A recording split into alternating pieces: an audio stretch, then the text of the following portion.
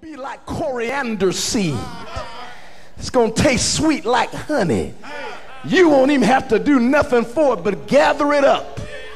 And I want you to know that when God blesses you, that's what He wants you to do. Just start bringing it in, gathering it up. Don't apologize for what God's doing in your life. But when the shower, when the rain starts falling, and that's where it comes from, it comes from above. I think uh, sometimes we miss that point. We always talk about the manna, angels' food. What is it? But we don't talk about how it came from heaven down. And look like that's a sign for God, a signal that everything you need, God have provided. But it's sent it all the way down from heaven to earth. And it's already here now.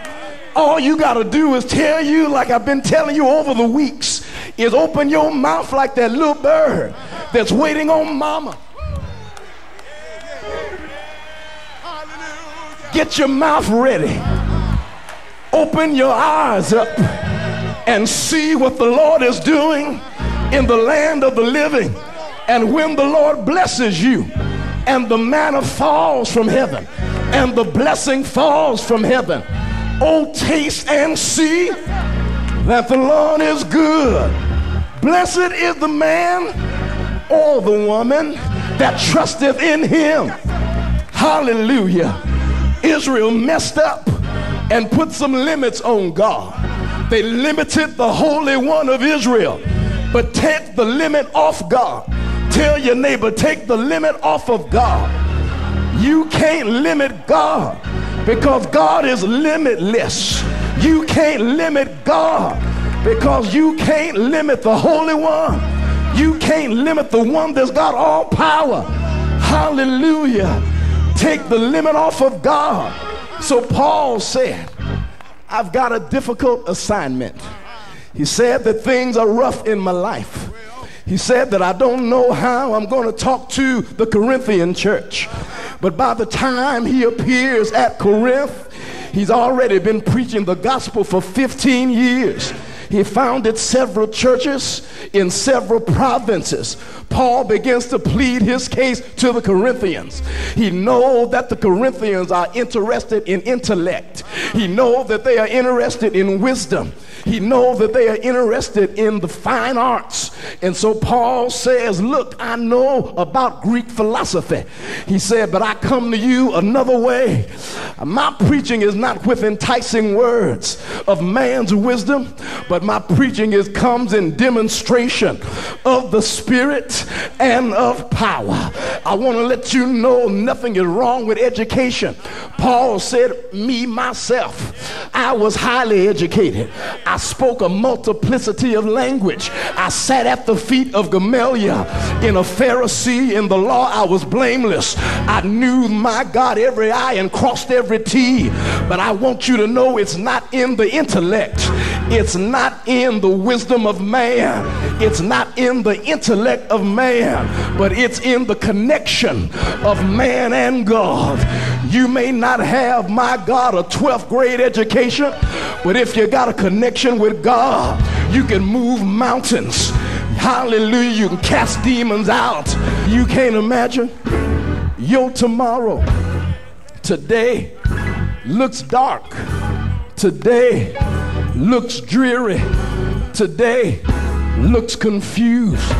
The devil has you in a place right now that you are wondering how long is it going to be? You are wondering, God, how much longer? I've been praying, I've been fasting, I've been calling your name, but I still don't see anything. Lord, I'm waiting on you. Lord, here I am. I'm not even an old person. I'm a young man. Some of you saying I'm a young lady. Some of you saying, Lord, how long is it going to be? But I hear him saying, even the youths shall faint and be weary, and the young men shall utterly fall. But they that wait upon the Lord, oh, they that wait upon the Lord shall renew their strength.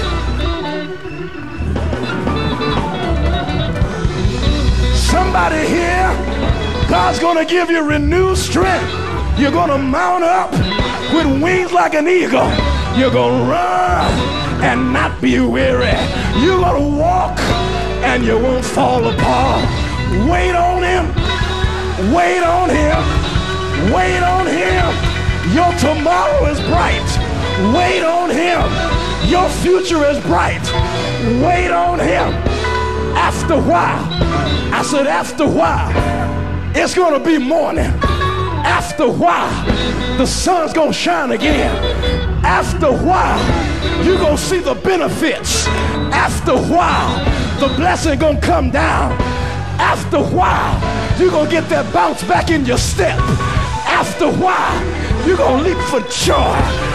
After a while, you're going to have power like you never had before. After a while, you're going to give him you're going to give him glory. After a while, it's going to be all right. All right. After a while, get somebody by the hand and say, neighbor, it's going to be all right. After a while.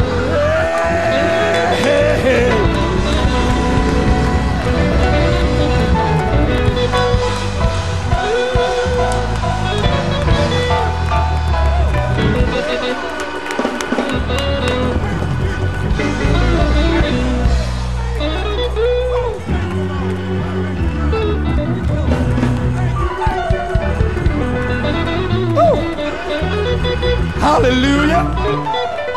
Woo. I'm through. You know how we do.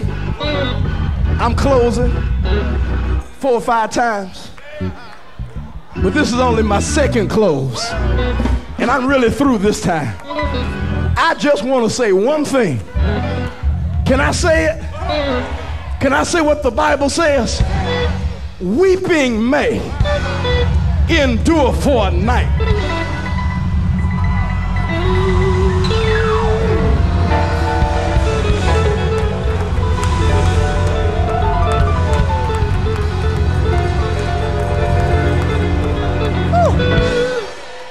Hallelujah.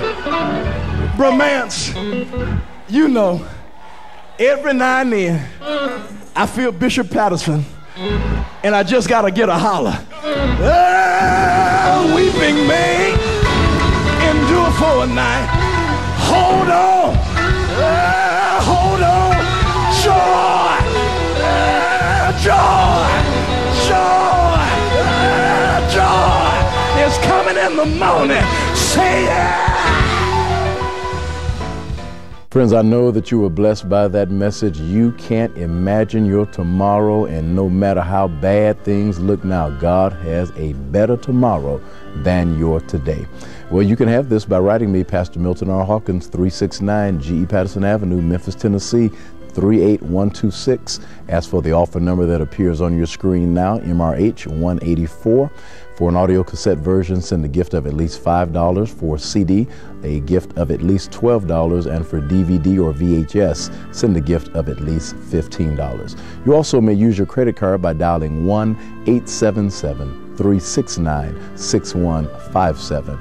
Ask for offer number MRH 184. And when you call in, have your credit card handy. Somebody is standing by now to receive your call. Well, thank you so much for your prayers, your well wishes, your patronage of this ministry. We appreciate everything that you are doing. We praise God for each and every one of you. And I'm rejoicing in the reports that I'm hearing from you and how this telecast and this ministry is being a blessing to you. We look forward to seeing you on next Sunday. Until then, the blessing of the Lord be upon you. We bless you in the name of the Lord. See you next week.